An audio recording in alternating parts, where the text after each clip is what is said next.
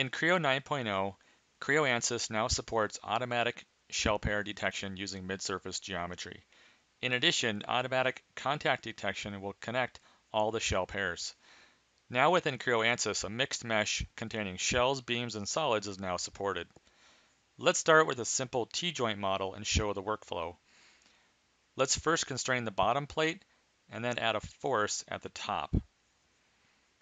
Now let's use the new automatic shell pair detection. We need to specify the scope of parts to use and then provide a minimum thickness and then click OK and we have our shell pairs. To verify, we can use review geometry and see the shells.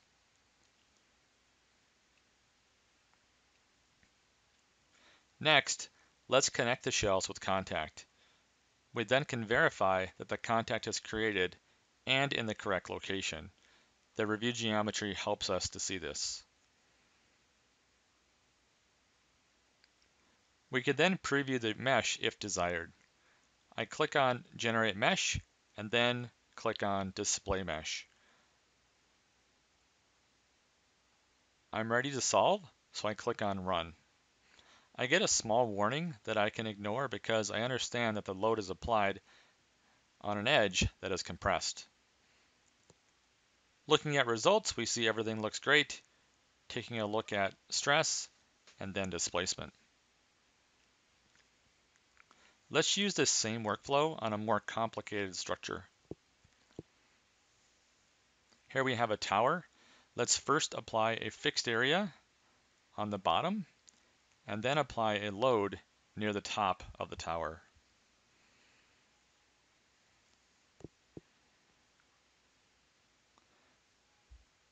For the load force, let's select these two surfaces and use a value of 1,000 pounds. The next step is automatic shell pair detection.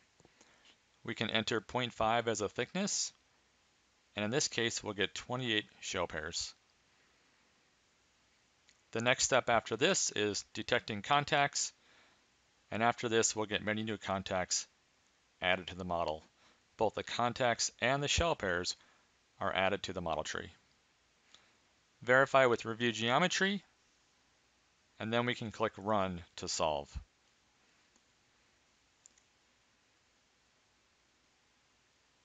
Looking at a few results, we can see the workflow is successful here on this larger assembly. Now in Creo ANSYS, we have a very fast solution with shell elements and more flexibility with mixed mesh simulations.